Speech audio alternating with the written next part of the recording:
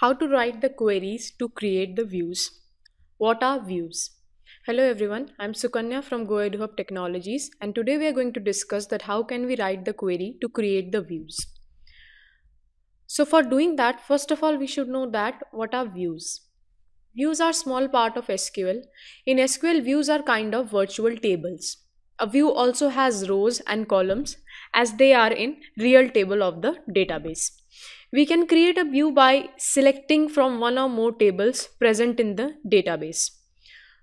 The syntax for creating a view is create view where there is view name as select column 1 and column 2 whichever columns you want to select according to your convenience from the table name which we want to select and if you want to give any where condition on what basis you're selecting those column. For example, if I want to create a view named as student view, STU view, and as select, I want to select the name and addresses from college. College is the name of table. And the where condition is where the student ID or SID is less than 5. So for those and to see that result, I, what I have to do is select asterisk from student view. I have to then use the select asterisk command and then I would get the output of the following example the name of the student and the addresses or the cities where they actually live so if i run the command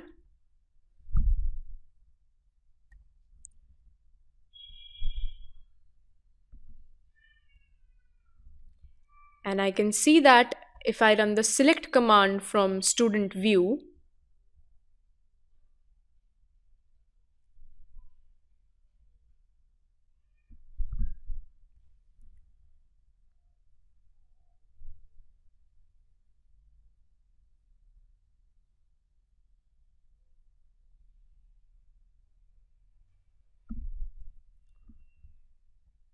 then the output decides the name and the address of those students.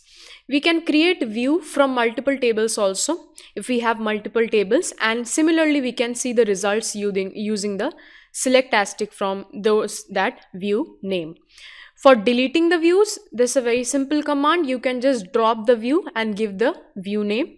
For example, if you want to drop view and the view name is stu view, then you can drop by using that. And if you want to update it, then you can insert into that view name and you can insert the values. And deleting row you have to delete from view name and give the where condition. Exactly as you have given the where condition when you want to create a view similar where condition you can give to delete a view. So that's all about view and the rest of the queries we will run uh, in the next videos. Thank you.